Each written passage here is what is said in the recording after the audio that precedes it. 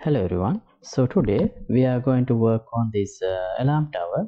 So first we are going to create the alarm tower as a child of the generator because we have this destructible component like a fuse box.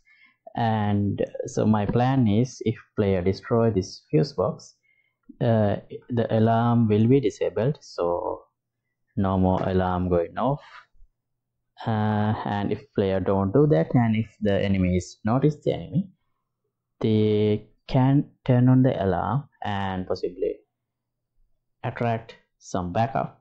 Or just go the siren turn on the siren things like that. So first let's create this blueprint. And here is the demonstration of what I have done so far. So for the moment it only activates the alarm automatically after 10 seconds just for demonstration purposes see? You can hear the siren going off and you can see the blinking lights. So all right let's see how to do these things today. Okay so i have imported this uh, alert tower. So yeah that's the next thing i wanted to implement implement in an alert tower. Mm, here so i'm going we have some lights and speakers so uh, i'm going to implement this as a child of uh, exp uh, generator that we worked on previously. This is a fuse box so this is sort of going to be the control unit of the alert tower so if player destroy this alert tower will not work anymore so enemies will not be alerted. And when the alert tower goes off we should have an alarm and the light should blink and perhaps backups is called things like that. I'm going to plan uh, i'm planning to do. So uh, i'm going to attach this fuse box into at some position in the alert tower. So yeah let's see. So first um, as for the alert tower blueprint uh, as I said I'm gonna make it a child of this generator so that it will be easier for us to implement shooting it and exploring things like that and first uh, I need to make this fuse box uh, destructible. So we need to create a geometric cache for that uh, geometric collection for that. Because this is the part that's going to be exploded and destructed into pieces. I'm not going to implement destruction for the alert tower itself because it's too big and I don't think that would look good.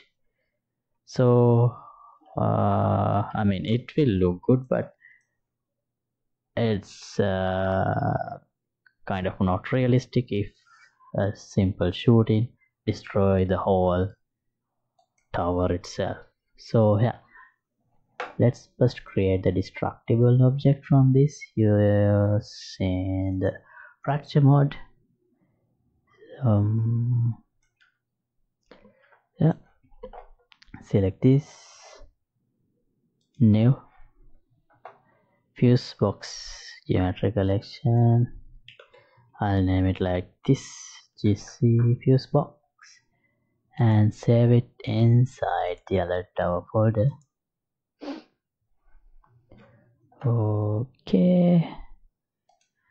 Now let's use uh, what should I use? Let's use uniform fracturing and fracture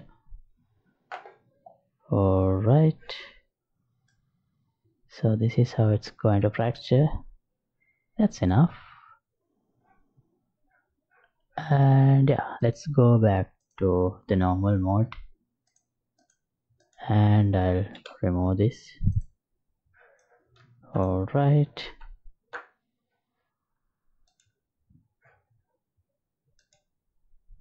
save all now here we have the geometric collection of the fuse box. If I put it here and simulate you should see it's falling down. Yeah so it doesn't get broken because uh, the damage threshold should be a bit higher. But uh, we, it will break under the if we change this damage threshold let's just try 50 see? It's broken. Okay uh, we don't need this in the world space anyway. So here is a generator. Go to the asset. Let me delete this generator from here. We don't need that and let's create a child blueprint from the trap generator. I'll name this uh, BP alert tower. Should we call alert or alarm? Let's call alarm. Tower because that's I think that's more common the name okay let's open the blueprint. Well this is what we get because we haven't changed anything yet. So first thing I'm gonna change is the instead of this destructible object it should we should have this fuse box.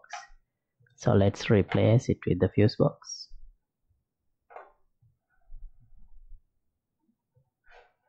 Mm, gc object fuse box and this mesh should be SM fuse box all right so this is what we get. So this light could be placed in the fuse box. Maybe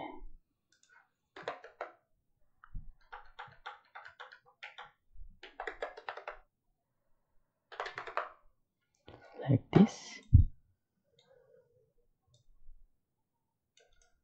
So we have a clear indication that this is on off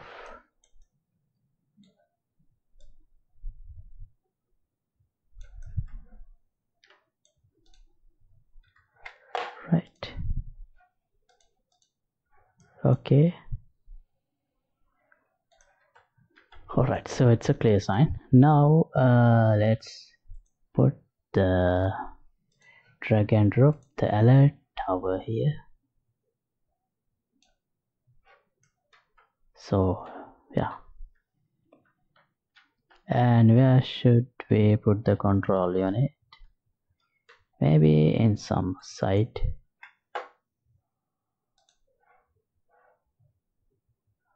Oh oh we also have this billboard.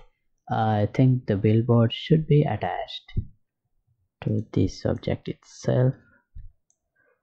So first let's move this. Let's go to right.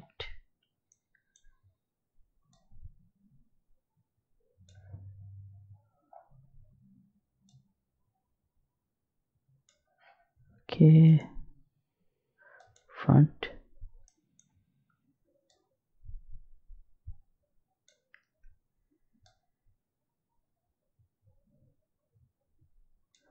All right. All right. So this is where the the control unit is placed. And this uh, tag indicator also should come on this. Should appear on top of this. When we tag. Or if we need we can put it up there also but I think it's it would be more clear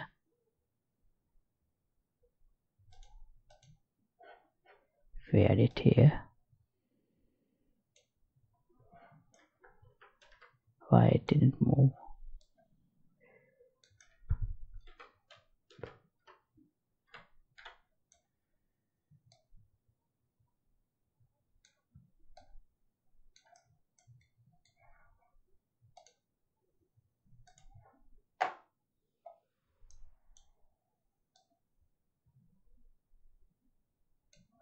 right by the way this looks large because we are using a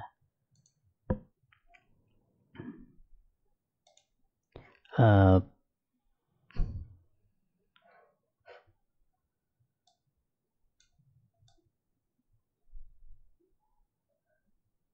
orthographic camera. That's what I was trying to remember. Okay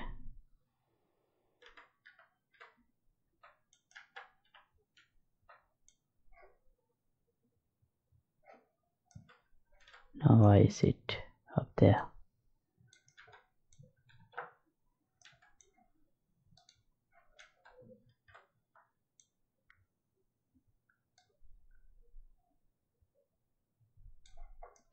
All right. And what about the collisions of this one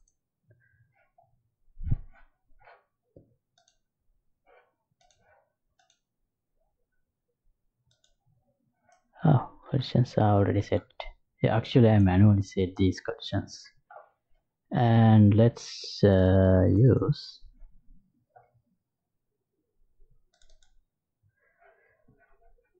Metal. Okay metal physical material is already used.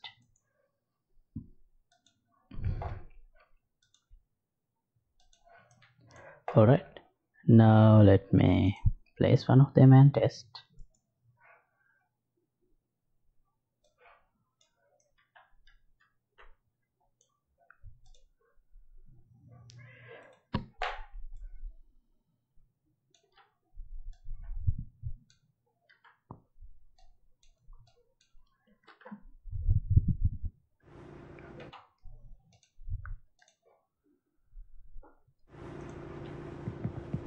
okay.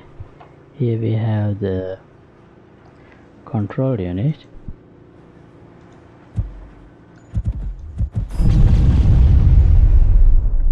Okay the damage is propagated. That's why these were also destroyed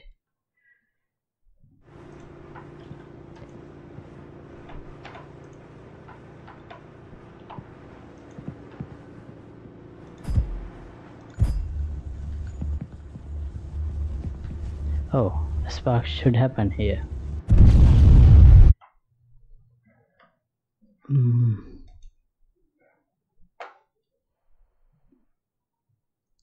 Jammed particle should happen here. Maybe, yeah, let's go here. Jammed particle. I should make it a child of SM object.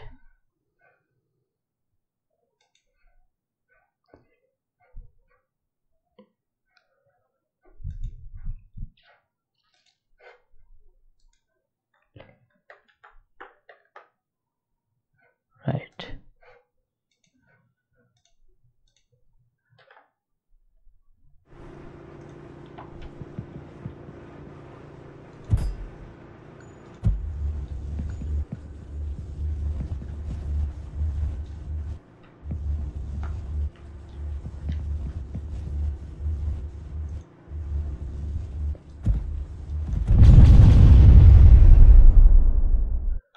okay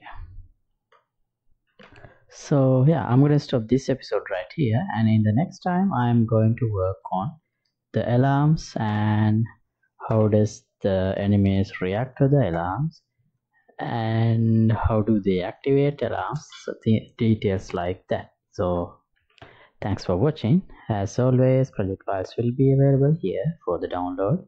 In the patreon page link would be in the description below. And if you like to support my work you can get the membership of the patreon club see you in another episode.